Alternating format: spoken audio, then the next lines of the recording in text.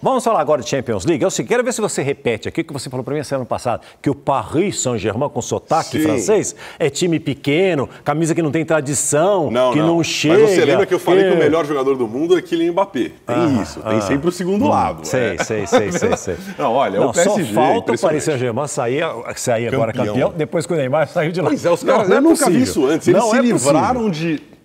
são palavras deles, hein, não nossas. certo. Se livraram de Messi e Neymar e tiveram o melhor desempenho dos últimos anos na Pois é. Champions. A vitória de hoje foi gigantesca. A de hoje foi realmente espetacular. O Barcelona venceu em Paris né, por 3 a 2 Hoje o Barça poderia empatar no estádio Luiz Company, que aliás é estádio olímpico, já nesse clima de Olimpíada que a gente está, e fez 1 a 0 Quer dizer, estava encaminhado. É. Mas aí uma expulsão, a do Ronald Araújo, uruguaio, entortou o jogo. pra- a Achei a expulsão? expulsão justa, Justa. e achei que o time do Paris conseguiu se portar muito bem, tendo o Mbappé como é, o, o chefe das atenções. né? Você Ele- acha que quando o time tem uma única estrela é, é melhor do que como dividir com o Neymar, Ah, com o Messi? Eu acho que o, que o Mbappé é, um- é perna. Esse é, chato, mala, mas joga demais. Então, no caso dele, acho que é o ideal é, é uma estrela mesmo e o resto do time jogando em função do cara. Então vamos ver os gols? Vamos lá, vai. Vamos lá. Ainda bem que o futebol não é proibido para menores de 18 anos. Só assim a gente pôde ver lances como esse de Lamine Yamal. Esse adolescente de 16 anos cruzou e o brasileiro Rafinha fez 1 a 0 para o Barcelona. Se a vantagem do empate era espanhola, ela estava ficando ainda maior. O Paris Saint-Germain tinha que buscar uma virada fora de casa para avançar às semifinais. Missão que ficou mais fácil quando Ronald Araújo fez essa falta em Barcolá. O zagueiro foi expulso e com um a menos, o Barcelona passou a ter dificuldades. Barcolá cruzou da esquerda e Dembélé empatou. A jogada se repetiu nove minutos depois, mas a conclusão faltou um pouquinho para entrar. Na etapa final, Vitinha recebeu sem marcação e bateu forte para virar o jogo. 2 a 1 PSG.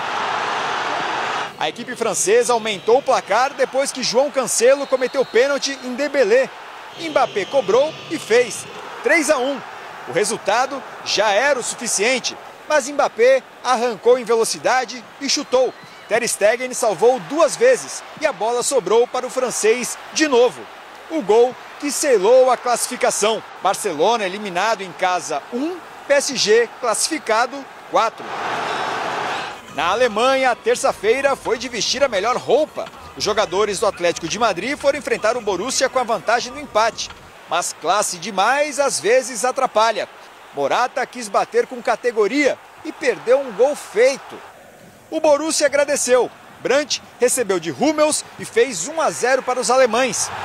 Cinco minutos depois, Madsen aumentou, de novo pela esquerda, de novo com um chute cruzado. O zagueiro Hummels descontou com gol contra. E Correia precisou de duas chances para fazer o 2 a 2. A vaga se encaminhava para a Espanha, até que Fulkrug desviou de cabeça o cruzamento que veio da esquerda. Sabitzer ainda mandou um foguete. Festa do Borussia Dortmund. Borussia Dortmund e Paris Saint-Germain agora vão se enfrentar nas semifinais. Nesta quarta-feira conheceremos os outros dois classificados: Manchester City e Real Madrid, Bayern de Munique e Arsenal. Os vencedores dessas partidas avançam na competição. A sua fonte segura de informação cada vez mais perto de você.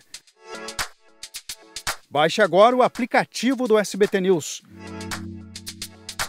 Selecione o que é mais importante e receba notícias personalizadas. Tudo o que acontece no Brasil e no mundo 24 horas por dia. A informação em tempo real na palma da sua mão.